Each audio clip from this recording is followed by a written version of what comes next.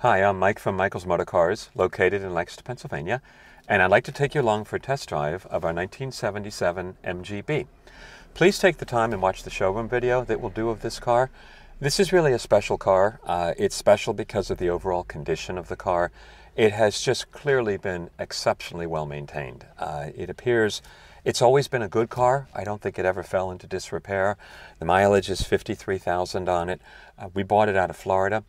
But the overall condition is just really over the top. So if you want a car, an MG in this age range, this is frankly one of the best ones I've come across. So let's start it up. It always starts very easily. We did a cold start video before we left. It's fully warm now, and we're sitting well, probably about 60 pounds pressure, oil pressure. Uh, it's a cold day in Pennsylvania, so you can see we've got snow around us, so it's temperatures in the high 30s right now. Uh, everything's working on the car, the fuel gauge, the tach, the speedometer and odometer, of course the oil pressure, the temperature, and amazingly, I can't remember when I last saw a clock working in an old MG. The clock is working and it's even keeping accurate time. The horn works, the wipers work, the fan works, the heater works. It's an aftermarket new, relatively new uh, AM FM CD player with Bluetooth. So of course that comes with it. It is a four-speed car. It is a car that did have the conversion. It was quite common. It has a downdraft uh, Weber carburetor. I happen to like that on these cars. Uh, that also means it has a regular exhaust manifold. There are no catalytic converters on this car anymore.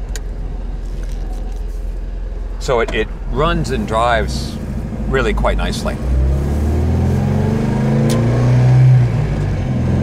Transmission is excellent, typical of an MGB.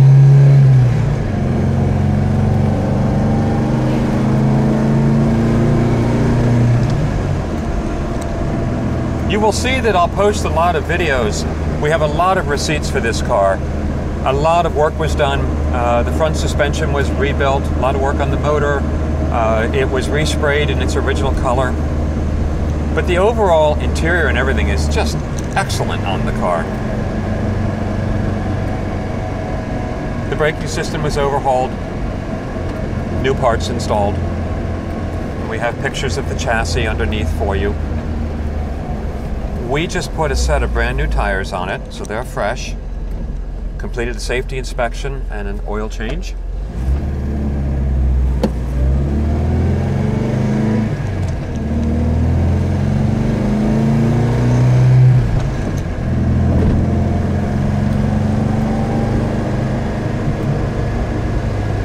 But it really, when these cars had, especially when they had the Weber carbs, they were a little more responsive.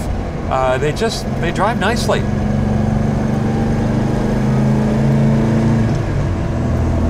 Fourth gear. As I mentioned earlier, the transmission shifts beautifully.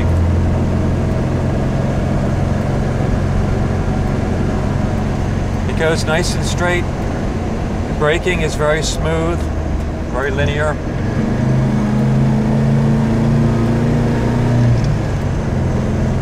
So if you're looking for a really nicely, nicely prepared, well taken care of, pretty little MGB, please consider this car and uh, please look at all the videos, look at all the photos we'll take.